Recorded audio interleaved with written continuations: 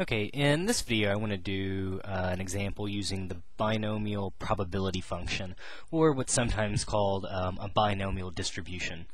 To use a binomial distribution we have to have a few requirements met.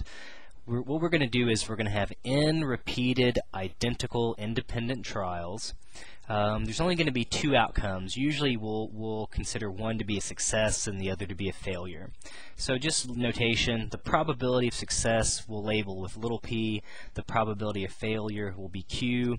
Again, notice if you add up the probability of success plus the probability of failure, you get 1.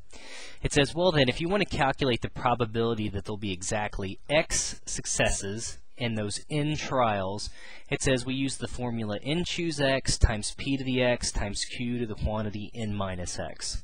So remember n choose x, um, here's at least one other alternate notation for it. And remember that's n factorial over n minus r factorial and then r factorial. So I have videos on factorials and combinations, so you may want to take a look at that, because um, I will step through, I think, the factorials a little faster in this video. Okay, so here's our problem here. You're going to take a multiple choice test um, that has 10 questions on it, and each question is going to have five answer choices, you know, A, B, C, D, or E. And we're going to calculate the probability that you get exactly four questions correct just by guessing. Okay, so in this case, the probability of success, getting a question correct, well, if there's five answer choices total, and I only have, um, I've got to pick one of those, the probability of success will simply be a fifth. Um, therefore, the probability of failure, well, getting the question incorrect, must be four-fifths. Okay, so again, let me jot my formula down. So it says the probability of getting x successes is going to be n choose x um, p to the x and then q to the n minus x. So there's our formula. So in this case, we want to find the probability of us finding exactly, so we said four questions correct. So we'll plug 4 in. Okay, and this is where we have to be a little careful.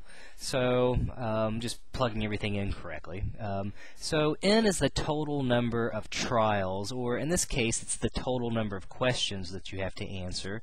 So, there's 10 questions total, and we want to answer four of those correctly.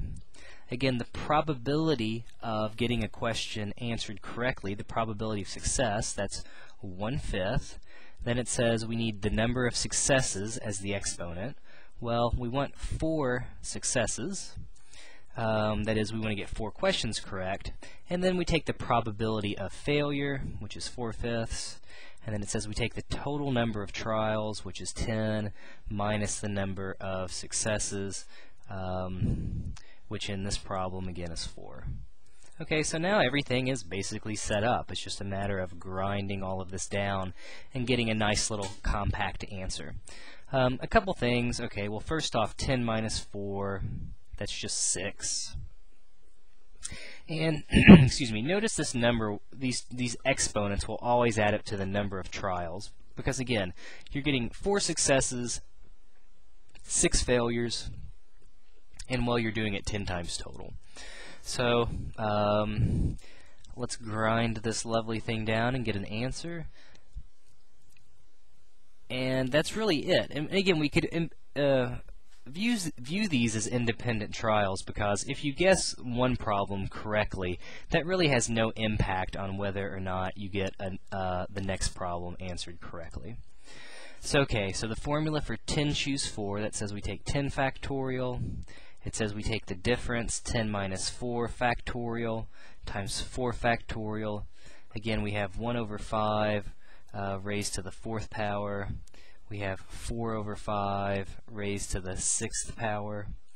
Um, so let's see, this is 10 factorial over 6 factorial, so that will cancel out and leave with 10 times 9 times 8 times 7. 4 factorial, well that's 4 times 3 times 2.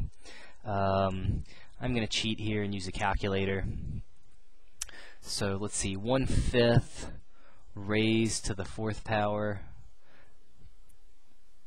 which is just 0.0016. Okay, we probably uh, could have got that one. 4 fifths, let's see, so 0.8 raised to the sixth power.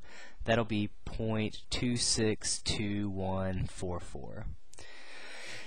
Okay, so 4 times 2, that'll cancel out with the 8. 3 will go into 9. 3 times, 10 times 3 is 30, times 7 is 210. So the the 10 choose 4 simplifies down to just 210 and again now we just have to multiply all of these numbers together and this will be the probability of you again answering exactly 4 out of 10 problems correctly so let's see what we get probably intuitively not going to be very likely Okay, so I'm getting this to be the number 0.08808 da da da. Okay, so we can round that off to point, um, 0.09 which is a 9% likelihood. So it says there's about a 9% chance that if you go in there and guess at this test that you're going to get exactly 4 correct, or you're going to make maybe a 40% on the test. So, alright, that's all there is to really using this formula. You just have to think about the total number of trials, how many successes you want, the probability of success, the probability of failure, and then I think for most people just kind of simplifying down the factorials can be, uh, be a little tedious. Uh, most scientific calculators or, or um, business calculators, uh, a lot of them even have a program built in to, to compute those for you to make it easy. So, all right, um, I hope this video helps. If you got any questions or comments, feel free to post them as always.